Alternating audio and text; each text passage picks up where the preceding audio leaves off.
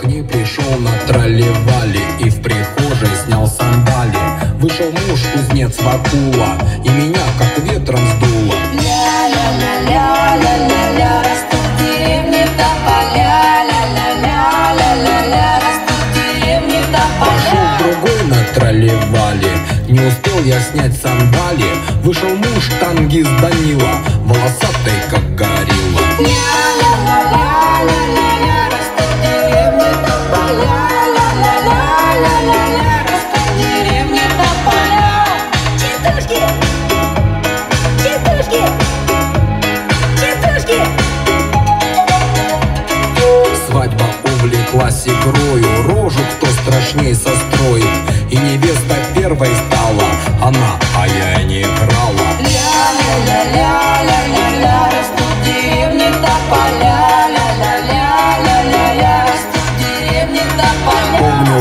нам в село.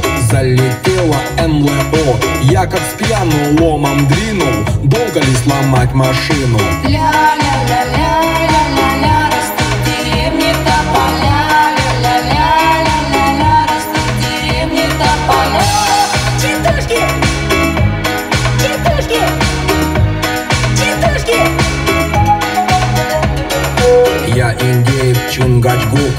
Зверобой мой верный друг Возьмем мы стрелы, отсотриться И капец всем бледнолицым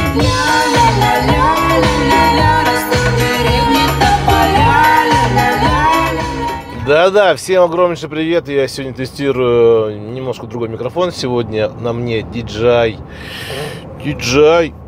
Блин, а, DJI Mic, короче. Поэтому посмотрим, что у нас по факту получится. А мы что с вами? Мы давайте пробежимся по новостному блоку. А У нас сегодня 17 июня. Кстати, сегодня не упустите момент, если кто-то ищет хороший, обалденный дом. Ну, мало ли, что вдруг кто-то ищет, да, с ремонтом, 6 соток земли, чтобы была рядышком лучшая школа, лучший детский сад, стадион, при этом это не была гора и так далее, и нужно уложиться до 30 миллионов рублей с ремонтом, с техникой, мебелью, 6 соток, чтобы квадратура была 200 плюс, то, ребят, обращаемся. Я сегодня такой, э, конечно же, вариант сниму. Сначала появится по традиции у меня в Инстаграме. А Если в Инстаграме как бы э, никто не успеет купить, то тогда уже появится на YouTube канале. Потому что для Инстаграма мне монтировать гораздо проще и быстрее. Вот как бы так. Ну что, сегодня у нас плюс 25 градусов. И давайте сегодня попробуем сейчас немножко посмотреть, что же такого интересного, прекрасного у нас происходит в прекрасном городе Сочи. В Сочи сотрудников медцентра Армед наградили почетными грамотами, как лучшие маркетологи. Знаете, может быть, врачи, они не самые лучшие, как бы, ну, серьезно, у меня там есть вопросов очень много к ним, но как маркетологи они умеют. Они умеют сделать так, что ты пришел, и вроде бы ты даже не знаешь, что у тебя что-то есть. И они это что-то обязательно найдут, а если не найдут, то нафантазируют. Понимаете? Вот как бы так. Это же святое? Святое. Но мы с вами сегодня проедем немножко по другой улице. Мы сейчас проедем с вами через улицу Конституции, чтобы вы понимали, что, оказывается, с острова мечты есть нормальная широкая дорога, а не такая дорога, как я обычно привык. Ну, просто мне нравится обычно по той дороге. Дальше. В Сочи обсудили меры поддержки аграриев Краснодарского края. Посидели, обсудили и все. Кстати, я вчера снимал дом, дом один прикольненький. Я теперь понял, я понял, почему у нас все так иногда херово везде. Знаете почему? Потому что у нас все деньги уходят немножко в другое место. Кто скажет, какое же такое место уходит? Ну, в другое место уходит. Что значит другое место? А, блин, наверное, закрою, потому что отсвечивает, да? Какое место? Ну, я посмотрел, где у нас есть дача у Затулина, посмотрел, где есть дача еще кое-кого. В общем, нормально, посмотрел вчера. Такие, как бы, место такое, не хреновое. Соответственно, чтобы там, например, такую дачу иметь, то нужно как минимум иметь 100 МЛН. 100 миллионов. 100 миллионов. Ну, почему-то нет, блин, вот этого не зависит. Ладно, подвигаем. В Сочи разработали план по противодействию дистанционным мошенникам. Какой там план? Какой дистанционные мошенники? Понятно, что без лоха и жизнь плоха. Есть лохи, есть не лохи. Соответственно, это касается и тех людей, которые покупают недвижимость. Есть лошары, которых имеют, в том числе и риэлторы. Есть нормальные. То же самое касается и всевозможных мошенников и так далее. Я скажу, мне даже тоже пару раз кидали, ничего, на своем опыте уже как бы понимаю, что, наверное, да, наверное, вот что надо делать. Рисковали ради науки. Спасатели в Сочи смогли сохранить жизнь ученых. Вот представляете себе, ради науки вот э, тоже лезут туда, куда собака свой не сует. Ну, ничего страшного там нет, как бы не без этого, как говорится. Ну, а куда деваться, да? Все равно сгорели. Отдыхающие в Сочи поделились, почему купаются в море в самом пекло. Они говорят, потому что мы приехали в Сочи. Мы приехали в Сочи, мы хотим от Сочи взять все мы приехали, и все, ребят, все.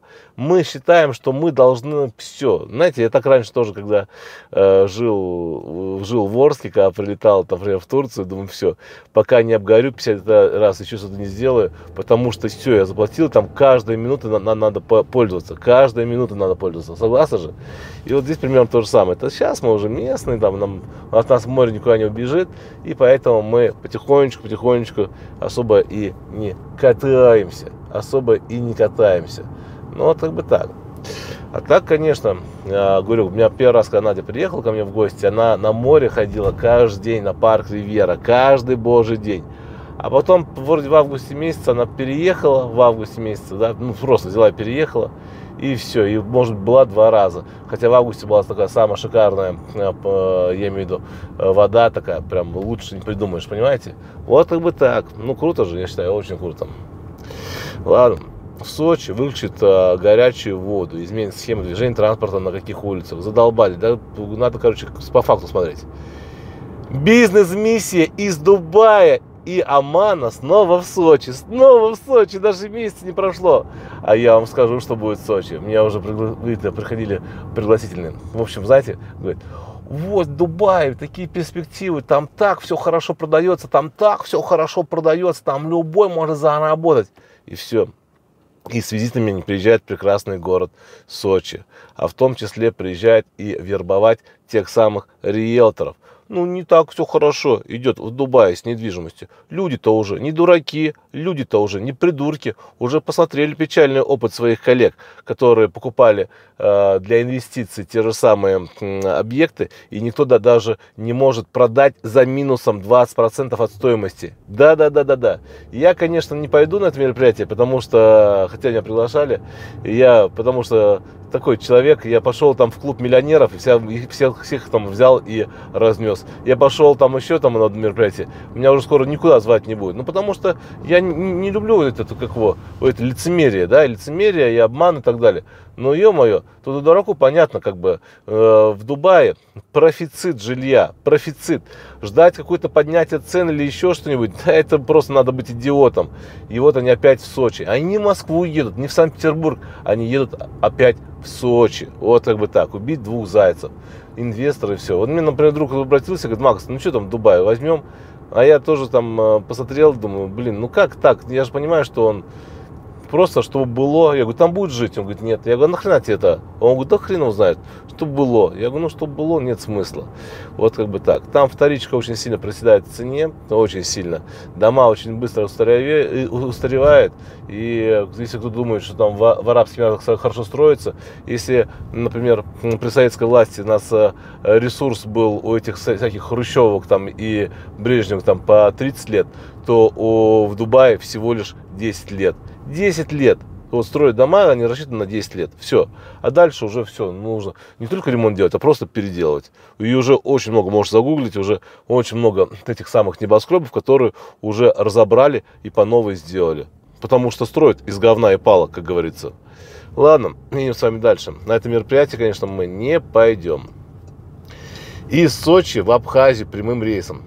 Россия подарит вторую жизнь аэропорту Сухума. В общем, пытается что-то с аэропортом сделать, но это еще будет не скоро, это еще вилами по воде писано. Ну и будет нормально все. Не знаю, зачем это делается, как это делается. Посмотрим, что из этого. В Сочи используют экспериментальную рассадку для оформления городских клумб. Ну, кстати, да, красиво, кстати, оформляют нас. Каждый раз меняется цветовая палитра из растений. В Сочи привлекут около 20 миллиардов рублей на создание инфраструктуры для выращивания форели. Потому что сейчас с Норвегией у нас не очень хорошие отношения, там еще, и, соответственно, понимает, что, в принципе, как бы ну, рыба-то нужна, рыба нужна, поэтому сейчас благоприятный период для того, чтобы можно было выращивать. Кстати, я как-то на озеро ходил, на улице Звездной, да, мы там рыбачили, амура ловил и так далее. Это озеро высушили, и там сейчас строится коттеджный поселок. Это, конечно, я не знаю, у меня прям вчера аж сердце кровью обливалось. Ну как так взять и высушить? А еще я знаю, что не пройдет и года, можете э, сказать, что я ванга, но это так, просто много знаю. И у нас форелевого хозяйства не будет. А форель хотят разводить непосредственно в море, да, в садках. А вместо форелевого хозяйства, судя по тому, что это приобрела Монтера Group, я думаю, что там будет скоро построен город в городе. Там просто шикарнейшее место. И там будет построен и торгово-развлекательный центр, там будут и построены те самые многоквартирные дома и так далее. Все это будет сделано. Просто, просто так не покупают, такую охрану там поставили и так далее. Ну, как бы ну, не, не бьется логика, да, там, как бы рыбалка там дешевая, там, на охрану больше тратить и так далее.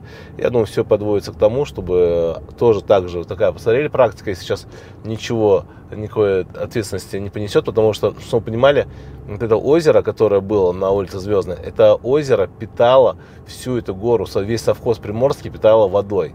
Его взяли, просто высушили, и все. И там построили коттедж поселки. Вчера я это все наблюдал. Ладно, Бежим с вами дальше. Новости продолжаются. Студенты Сочинского государственного университета встретились с героем России в рамках Всероссийской военно-патриотической просветительской акции «Знания». Отличник хотел поджечь школу, но пятерка по химии не помогла. Сдали его двоечники, друзья. Вот как бы так сдали его двоечники друзья. Поэтому не помогла пятерка по химии, он там кое-что хотел. На вопрос, зачем ты хотел сжечь нахер школу? Он говорит, да зачем? Говорит, просто, говорит, на спор, просто. А что, говорит? Захотел, говорит, сжечь, сожгу. И что, что плохого? Жителям Кубани рассказали, как алкоголь влияет на сахарный диабет. Да сахара много, конечно, алкоголя. Само собой, как бы осложнение диабета и все.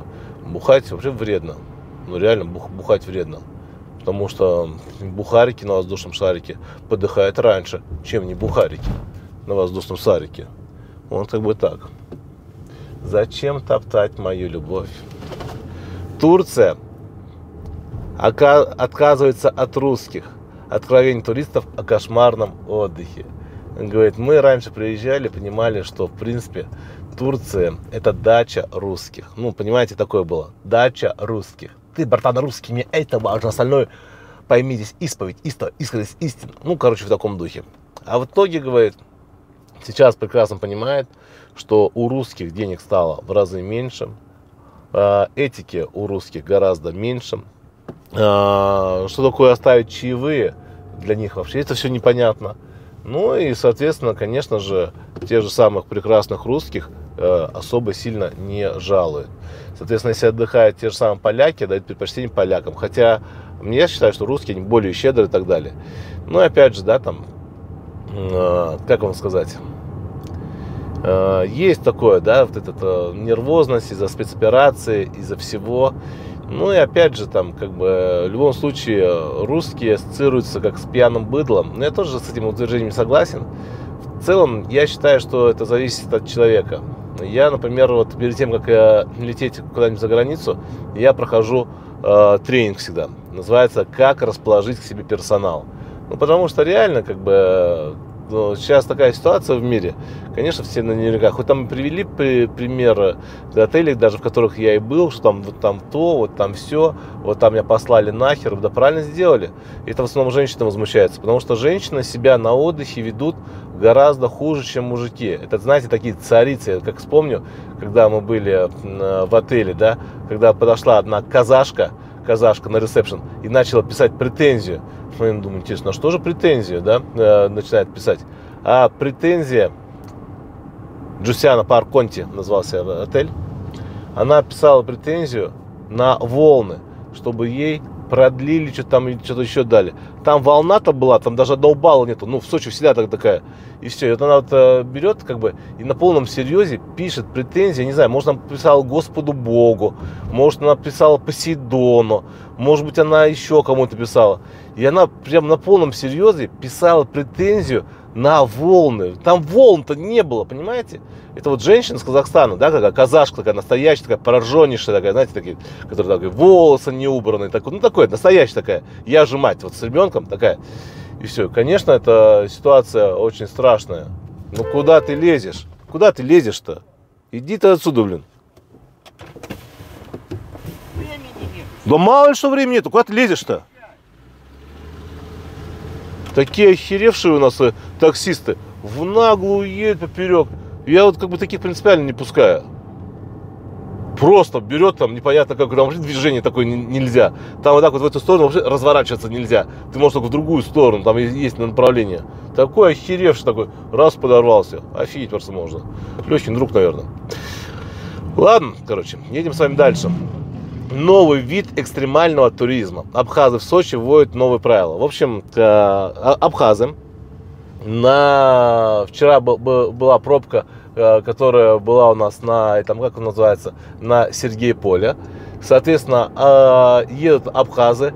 Как вы догадались, на каком автомобиле? Давайте поставьте паузу и, пост- и попробуйте догадаться.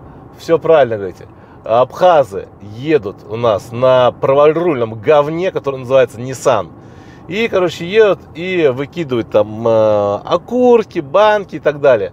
Ну и люди как бы возмущаются, потом они поехали само собой по встречке, и никто ничего. Я могу сказать, ну вот, ребят, вот кто собирается ехать в Абхазию и тому подобное, в Абхазии, вот когда вы культурно разговариваете, они воспринимают за слабость. В Абхазии ты пока не втащишь то бесполезно. Вот у меня тоже была стычка, э, когда я еще на Nissan Qashqai ехал, примерно такие же интересные, только там разворачивались на, через две сплошные линии, проезжали через две сплошные линии на Донской, а потом начали там ехать, подставлять э, свою жопу, там начали там что-то вытеснять меня и так далее. И уже когда мы доехали до моста, где э, идет на Макаренку, на, на, на том же самом, где торгово-развлекательный центр Моремол, я когда вышел, соответственно, вышел там эти то, два эти абхаза, на этом конченом какой-то Мерседесе, там какой-то был тоже на абхазских номерах все. И, соответственно, он идет, бежит. Я, конечно, э, сразу же его двоечкой встретил. А, второй, как бы сразу что-то то, тоже, ну, короче, нормально. Потом, оказывается, выяснилось, что у них в машине ребенок, что они торопятся, поэтому, поэтому, знаете, ну, как торопятся, в моем понимании как, ну, взяли, да, например, проехали, поехали дальше. Но когда ты берешь там и оттормаживаешься, получается, от мясокомбината и до, от мясокомбината и до торгового центра Малимова ты постоянно там пытаешься жопу подставлять, я думаю, наверное, не так уж и торопится, ни в больницу, никуда. Да и тем более, почему повернули-то в сторону Макаренко, а не повернули, если уж в больницу, э, в сторону вокзального района. Вот как бы так. И там пока не втащишь, ну, бесполезно. И здесь вот то же самое, да, вот они едут, кидают, Почему? Ну, потому что никто даже не замечаний не сделал, ничего. Да, видео засняли. Таких видео у меня тоже, я теперь тоже хочу все-таки э, такие видео снимать. У меня почему-то много я не загрузил. И все, я тоже в прошлый раз еду. Я, кстати, видеоролик у меня где-то остался. Я где-то кусочек просто вставлю. Э, у меня, я его еще вроде не удалил. Тоже еду, едет на Ниве, тоже бросает окурки, бумажки и все. Я беру, как бы, его, как бы, обгоняю, говорю, ну, там, э, говорю, ничего, говорю, ну, как бы, я говорю, не стрёмно, говорю, Говорю, вы, говорю, бычок уронили, все. Потом смотрю, а как вы думаете, кто это? Правильно, это на Ниве без опознавательных знаков. Но это сотрудник полиции. Кстати, этот видеоролик я обязательно выкину. Пускай ему будет стыдно. Я думаю, может быть, ему руководство сделать замечание. Кстати, да. А я забыл. Просто там я начинал снимать, пока Мацесту поехал. И я что-то, короче, там не решил часть вырезать, потому что меня там немножко бомбануло. И все. А вроде видео исходники остались. Я вот просто вам покажу. Ну, вы просто офигеете. Поэтому, конечно, если себе сотрудники полиции позволяют так себя вести, да, и, конечно, там Хабхаза посмотрели, блин, у нас правый руль, ребят, у нас все, у нас э, мы можем через угодно, и вот они там и по встречке и так далее. Как бы они все привыкли, и здесь примерно то же самое идут. Но здесь как бы я им точно не даю никогда не влезть, ничего, они там как бы это, ну, не рискуют, не рискуют. Он тоже сейчас вот сзади едет таксист, да, который ехал, прям разогнался поперек нас, да, вот который у нас. Вот нахера спрашивается, Вот ну, зач- зачем это до конфликта доводить? Ты скажешь, а почему ты не пропустил? А с чего бы я должен пропускать? Я еду на основной. Я еду на, э, как бы у меня главная дорога. С чего бы я должен пропускать, ребят? Я понимаю прекрасно, если бы там какой-то затор был, ну видно было, он хоп, подорвался, как жопу райный, и решил там все, царь едет, царь. Таких царей я в день по 20 человек встречаю. Значит так, тысяча рублей за выход из дома. В России вводят новые штрафы, что-то новое придумывают. Штрафы какие-то непонятные. Что-то в России какие-то маленькие штрафы. Вон, берите, например, с Абхазии. Он с голым торсом прошел, все, 6 тысяч рублей. В Сочи обсудили развитие санаторной курортной сферы поселка Якорная щель. Не украл, а обхитрил. В общем, один из сожителей, 52 года, узнал пароль от приложения и, соответственно, что сделал? Все, все, он взял там, как бы переводил, пока сумма переводов не составила 30 тысяч, и тут уже в полицию заявили. Грозит до 6 лет за мошенничество. Понимаете? За мошенничество до 6 лет. Да, кстати, вчера, короче, с Москвы летел самолет в Сочи, но решил приземлиться в Саратове. Представляете, как люди обрадовались, да? летели с Москвы в Сочи, они же там такие все ферзи, да, такие, ну такие боженьки такие, да, летели, да, а раз и их привезли в Саратов. Вот это я понимаю, да, это, они говорят, вот это то, что мы заслужили. Вот как бы так, не знаю, там вроде какая-то поломка, но я считаю тоже, что лучше, если поломку, а день приземлиться безопасно, чем там, я дотяну, я до последнего. А Минтруд не поддержал установление шестой рабочей недели в России. В общем, он говорит, все, говорит, 40-часовая рабочая неделя и так далее. Ну, я могу сказать, что пока у нас так, так, такое непонятное руководство и все, так и не будет никакого развития, там, и не будете вы никогда зарабатывать ничего. Ну, например, я, да, как бы, получается, сам себе на уме, да. Но вот сегодня суббота, я сегодня отработаю по полной программе. Если нужно будет воскресенье отработать, в воскресенье отработаю и так далее. Я работаю не 40 часов в неделю, я работаю, э, сейчас я скажу, поскольку я работаю, да, даже не буду говорить, поскольку я работаю, потому что это страшно становится. Это страшно становится, потому что по минимуму я работаю 80-90 часов в неделю. 80-90. Ну, я и зарабатываю больше, чем те работают, те, те, чем те, кто работает 40 часов в неделю. Вот как бы так. Я вообще считаю, что шестидневка это нормально. Просто без фанатизма нужно понимать. И опять же, да, 40-часовую рабочую неделю при советской власти было придумано, да, это еще Лениным. Это когда люди работали потом и кровью, да, в шахтах, там, не знаю, там, на станках стояли и так далее. А сейчас, когда среднестатистический работник у нас э, максимум, что поднимает, это кофе, кофе, кофе, который попивает, да, там, и какие-нибудь круассаны. Да, блин, о чем там можно говорить? Да ни о чем. Конечно же, рабочая неделя должна быть как минимум 60 часов. Как минимум 60 часов. Молитесь Богу, чтобы я не стал президентом Российской Федерации и не вел вам 60-часовую рабочую неделю, чтобы поднять экономику страны. Вот как бы так. Абхазия против туристов. Опять приехали, думали, все, мы думали, в Абхазии мы там, не знаю, там разместимся, будем царями и богами. Думали, что все будет хорошо, прекрасно и замечательно. А в итоге, говорит, приехали, говорит, толком нас не разместили, там такой-то срач и так далее. Вот как бы так, вот как бы так. Поэтому, ребят, ну, что хочешь сказать? Да ничего не хочешь сказать. Факт остается фактом. Как бы Абхазия как бы вроде и Россия, не Россия, но это все равно чужая страна. Все равно чужая страна и, конечно же, отношения соответствующие. Любят только тех туристов, ребят, которые тащат деньги – а люди прекрасно понимают, и в том числе абхазы, что в Абхазию в основном сейчас едут те туристы, которым не хватило денег на Анапу, которым не хватило денег на Сочи, не хватило денег на Геленджик, и они надеются, что они там все равно возле моречка отдохнут. И в итоге они приезжают, как правило, выбирают самые конченые гостевые дома, как правило, конечно же, не угадывают с пляжем, там этот пляж будет в говне и там подобное. Само собой, еда отстойная, его особенно, как бы, не верите, он съездите на экскурсию на озеро Рица. Но еда реально отстойная. По сравнению с Сочи, это просто небо и земля. И все. Хотя, по идее, абхазская кухня должна быть вкусной. Но по идее, да, вот как бы все-таки э, Абхазия и Грузина, они как-то это, грузинская кухня-то неплохая все равно. И абхазская, по идее, должна быть такая. И все не понимают прекрасно, потому что, а вот, например, те люди, которые приехали в Абхазию на экскурсию, например, в Сочи, к ним другое отношение. Потому что понимает, что люди э, отдыхают в Сочи, у них есть деньги, они приехали на экскурсию, потому что сколько раз такое было, говорит, вот мы были на экскурсии в Абхазии, нам все понравилось. Ну как мы приехали в Абхазию, там, ну, например, на 7 дней, все в корне поменялось. Да, потому что понимает прекрасно, что в Абхазию едут те люди, которые не могут себе позволить другой отдых. Соответственно, с этих туристов ничего не взять. Ценности такой турист не представляет. Ну, нет такой ценности, понимаете? Нет ценности. И все. И на этом фоне, конечно же, и получается непонятно что, ребят. На этом фоне получается непонятно что. Поэтому, конечно же, я считаю, что э, везде хорошо отдыхать, особенно, ну что ж, придется в подвал ехать. Везде, конечно, хорошо отдыхать, здесь даже и разговоров не может быть, но факт остается фактом. Нищий турист, он никому не нужен. Он никому не нужен. Несбитый летчик Сочи прошел премьеру фильма. Не знаю, последние э, э, разы такие фильмы все такие. Я не знаю, я сейчас один какой-то сериал смотрю, там ничто не повторяется дважды, блин.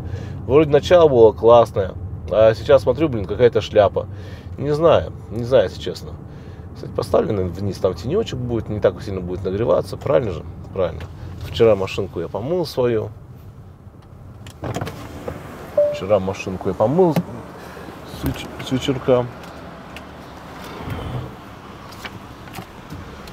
Вот как бы так.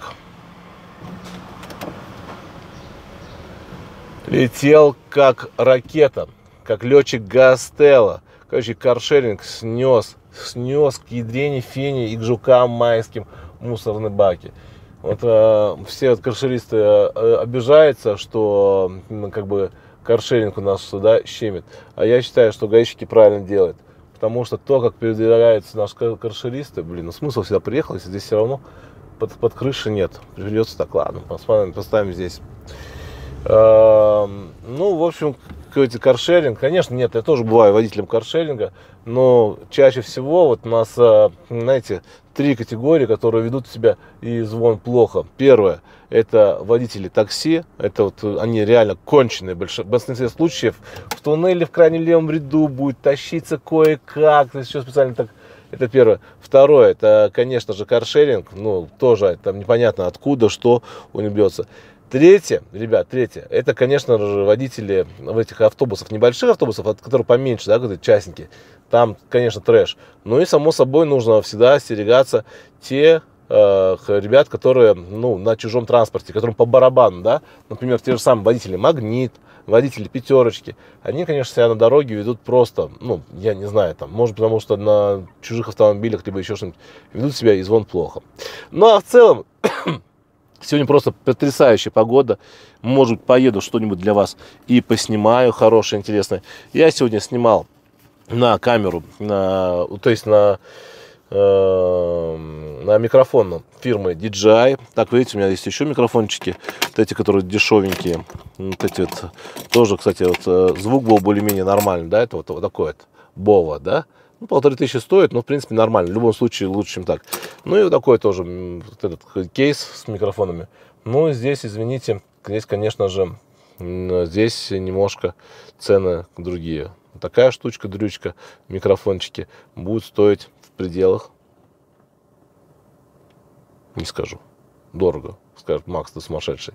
Вам всем, ребят, хорошее настроение. извиняюсь, если кого-то вдруг задел каким-то своим высказыванием. Кстати, вчера ходил в спортзал. Нормально. Сходил в спортзал. Сегодня, может быть, смонтирую с камеры 360. Там у меня много чего набралось. Набралось э, материал с бани. Э, набралось э, две тренировки. Может, сегодня что-нибудь поснимаю. В общем, наверное, для вас сделаю скоро такую супер подборку. На этом с вами прощаюсь. Вам всем прекрасного настроения. Всем добра и пока.